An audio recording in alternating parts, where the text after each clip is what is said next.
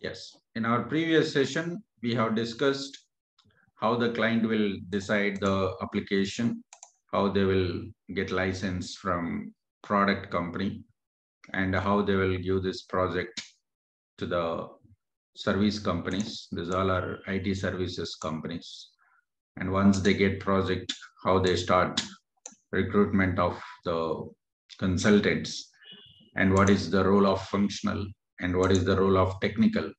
And before start learning any of these modules, we are supposed to learn these two. First, we'll go for security console. First, we'll discuss what is security console. Security console is nothing but an environment where we will be managing the users and roles information.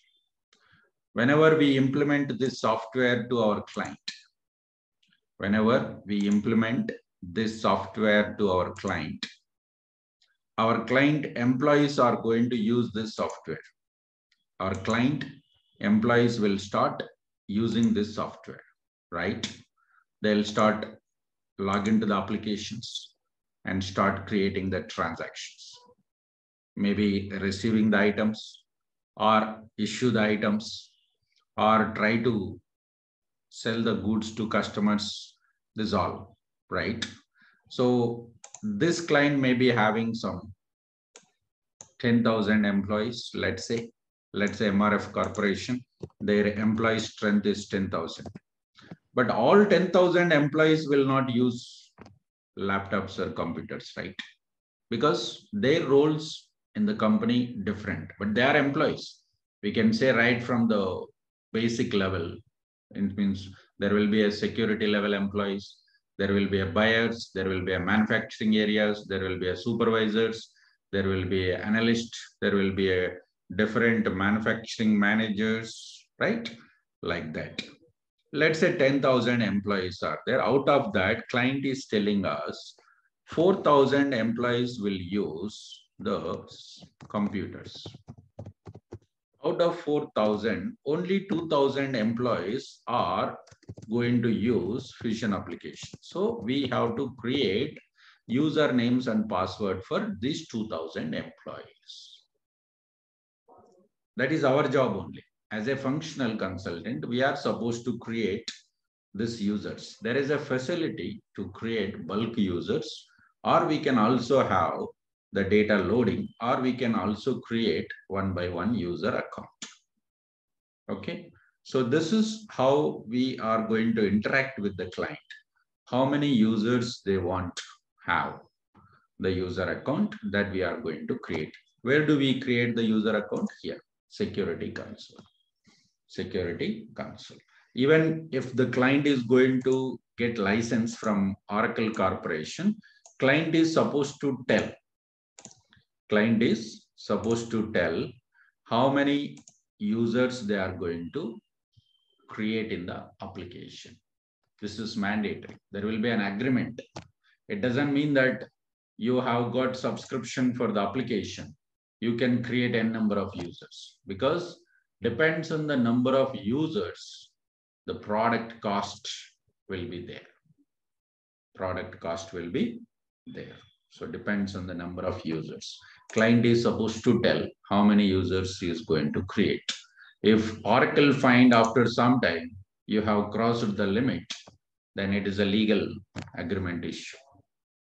Definitely legal agreement issue. That's the reason no client will cross the line as per the agreements, they will follow it. Now we are going to discuss how to create our own user account. Okay. Once we log into the application, we will enter our URL, username and password. If we want to create our own account, we are supposed to go to navigator menu. Go to navigator menu, tools menu, go to navigator menu, tools menu, security console. Security console. This is an environment where we will manage the users and roles. In the interviews also, they will be asking us, what are the operations we will perform in security console environment. We will do only two operations. One is user management, another one is role management.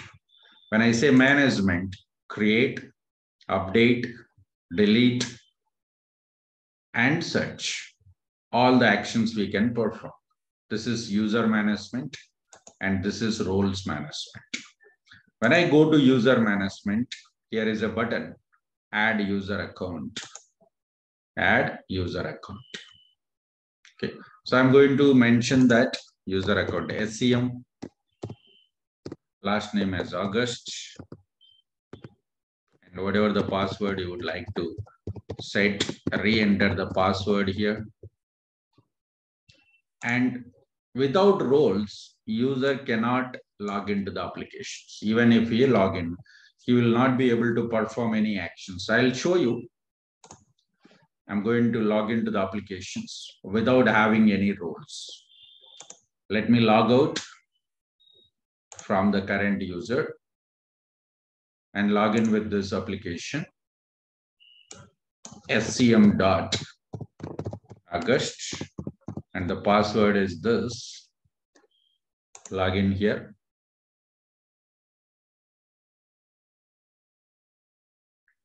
See we have not added any roles but still user is able to log in.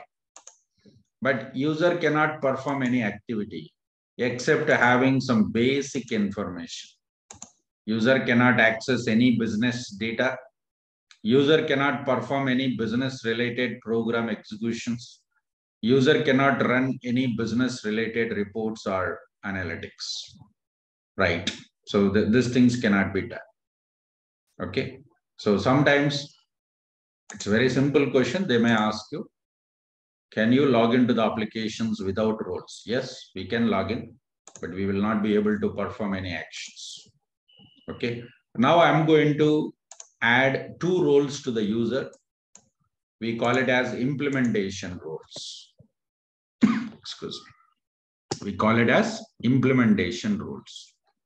As soon as we create a user account, the next step we are supposed to do is add implementation rules.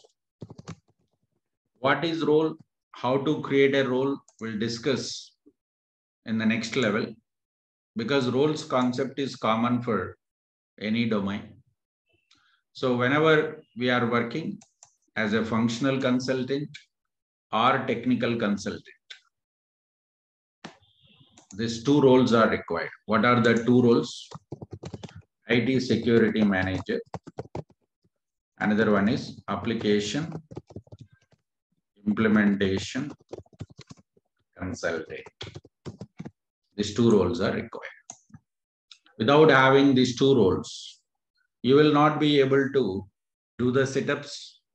This role is required to perform the setups in application. This role is required to manage your user information and role information. For example, I have done some purchase order approval. I want to test it. Let's say we have configured employee and supervisor hierarchy. How can we test? We need to hire one employee, create a user account for employee. Then we need to hire a manager, create a user account for manager.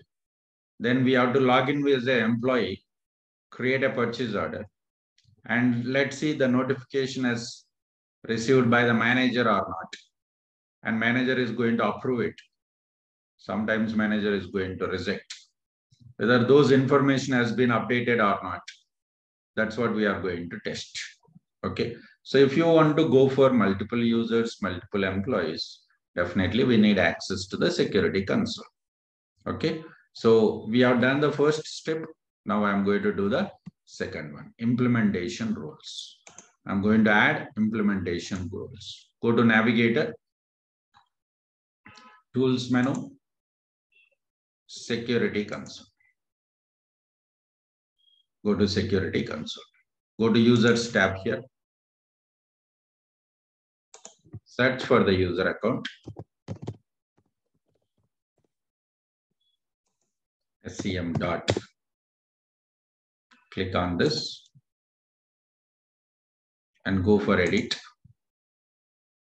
Add the roles. What is the role name? IT security manager. There will be a underscore copy. Somebody might have created the copy role, but we don't use that. Okay. So we'll be using always uh, the main role, IT security manager I'm adding here. Generally, when we are working in the projects, our team leader or on-site coordinators, it means client employees, because client don't want to give the permission to perform all these admin related activities to offshore team, right? So we have to add ourselves. Uh, once we join in the project, sorry, once we join in the project, client will create all these credentials and I, they'll assign it to us. Application, implementation consultant.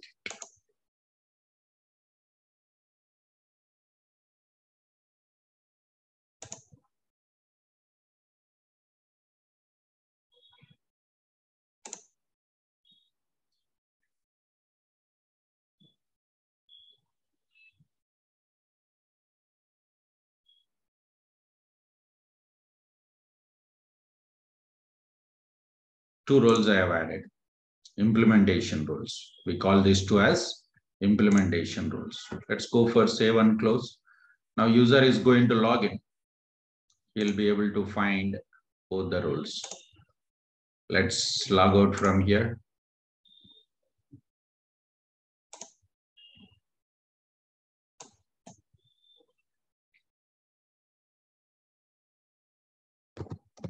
sem.august and login.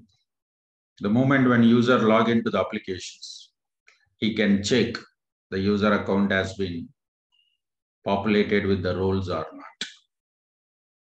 Where do we find the first role? Where do you test application? Sorry, IT security manager. Here, go to navigator. And we can find here from tools menu go to security console. It means you got the permission to security console. How will you test whether application implementation consultant role is applied for your user or not? Go to, to user menu, setup and maintenance. This. As I said, this is all our work doing the functional setups and manage the application. This is how we are supposed to add the basic roles to our user account called implementation roles, IT security manager, and application implementation consultant role. After that, checking the roles, here it is. So I'm going to enter setup and maintenance. This is what we call it as a FSM, setup and maintenance environment is nothing but